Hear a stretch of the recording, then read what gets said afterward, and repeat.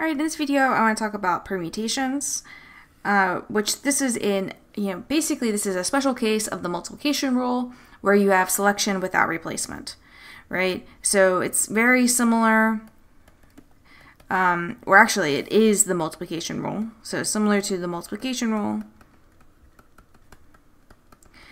uh, but now we have selection without replacement where selection occurs without replacement. So every um, permutation, you could just use the multiplication rule and you'd be good to go. Um, but there is a nice helpful formula for permutations. Um, we have, this is the notation for it. So for a permutation, we uh, use this little subscript n which is the, this is like the total number of objects and then k this is like the number of objects that you're selecting okay? Um, and I'll show an example of how to use this formula but basically this is the formula okay? So this formula it'll make more sense um, in in an example. So let's go ahead and go to an example where we can see this formula in action. So suppose um, we have a box that contains a blue, red, green, and yellow ball. So we have, let's see, um, a blue, red, green, and yellow ball. Okay, two balls are randomly selected from this box without replacement. This is very important, without replacement.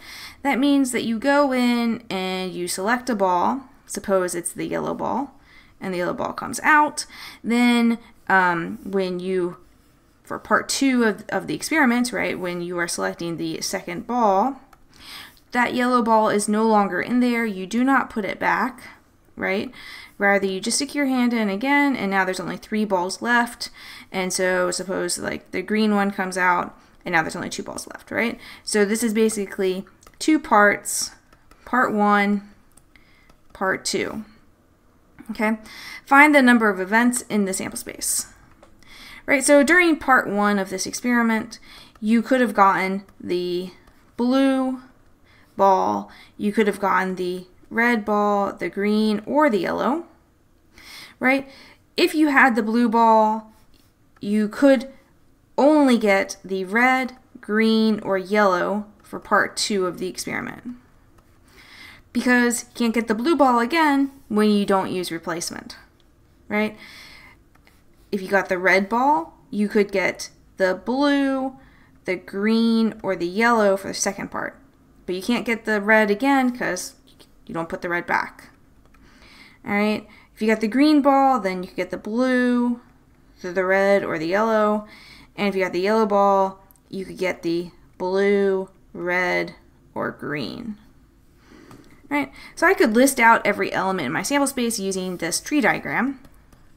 So the first one I'd have blue, then red, then blue, then green, blue, then yellow, and red, right the way I'm reading it, red, then blue, red, then green, right? And I could just continue listing them all until I get to the final one, which is yellow and green. Okay, uh, they're not asking me to list out the sample space though. They just want to know how many elements are in the sample space or how many events are in the sample space, right? So this is an event, this is another event, this is another event, right? How many total events are there? Well, using the multiplication rule and using this tree diagram, I can see, well, there are one, two, three, four options in part one. And in part two, there's three options, right? So that leads me to 12. There are 12 total possible events in the sample space. So 12 events in S. Right, done. Right? Except I didn't use that, that handy dandy formula. N, K. So could I have used this formula to make this problem shorter? Absolutely, right? So to make this problem shorter, I would just have to notice that, okay, I have sampling without replacement. Another important thing to notice is that um, getting a blue ball and a red ball, and then getting a red ball and then a blue ball, those are two different events, right? So order here matters, right? Which one you get first, I'm saying matters because you're sampling without replacement. And you know, you could think of this problem um, either you could either count like this to be the same event as this, or you could count them to be two different events. And for this scenario, I'm counting them to be two different events. So if you recognize that you're doing that uh, and you have sampling uh, without replacement, then you are good to go using this formula. How would we use it? We'd say, okay, well, there are four total balls. So n is 4.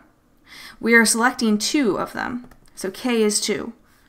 So I would have 4, comma, oops, comma 2.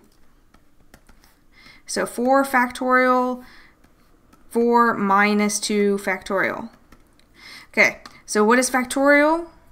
Right? You multiply 4 times 3 times 2 times 1. You multiply uh, the first integer by every previous integer. Okay, until you get to 1. 4 minus 2 is 2, right? So I'd have 2 factorial on the bottom. 2 factorial is the same thing as um, 2 times 1. Okay, so you notice that this cancels with this, and you're left with 4 times 3, which is 12. So you can see how that formula is kind of a shortcut, so you don't have to go and draw out your, your, um, your tree diagram. You go straight into what the answer is. Right, let's do one more example. Suppose you have a quilting club that has 10 members. Every year, the members are randomly selected to be president, secretary, and treasurer. How many different ways can these positions be filled? All right, so because one person cannot serve both as president and secretary, so that's that's an important thing that you're assuming here. Same person can't be more than one position. That is selection without replacement. Okay. Also, if you have, say, for example, Mary and um, Jane, right? And Mary is the president and Jane is the secretary, that's different than Mary being the secretary and Jane being the president, right? So, order of these positions matters. Okay, so once you recognize you're in that position, you can go ahead and use your permutation formula. You have a permutation. So, uh, what is the formula? Okay, and how do we use it? So n, n is our total number of um, you know elements that we're selecting from. In this case, we have 10 members. How many positions need to be filled? That's what k is. One, two, three, right? President, secretary, and treasurer. So we have 10, comma 3. 10 factorial divided by 10 minus 3 factorial. Okay, so then how do we solve this? We have 10 factorial divided by 7 factorial. All right, so 10 times 9 times 8 times 7. Now I can write times 6 times 3 or times 5, etc. Or I could just stop and say, okay, well, basically 7 factorial is going to be back here, right? And then I have 7 factorial. So you're always going to have some sort of cancellation right? And your answer here is going to be what? Uh, 10 times 9 times 8, right? 10 times 9 is 90. 90 times 8 is 720. If you ever end up with a fraction or a decimal or something that's not a whole number and you're doing permutation formula, you know you've made a mistake. Okay, so there's 720 total, you should always have a whole number, total um, number of ways that the president, secretary, and treasurer can be selected. Selected uh, from the 10 members.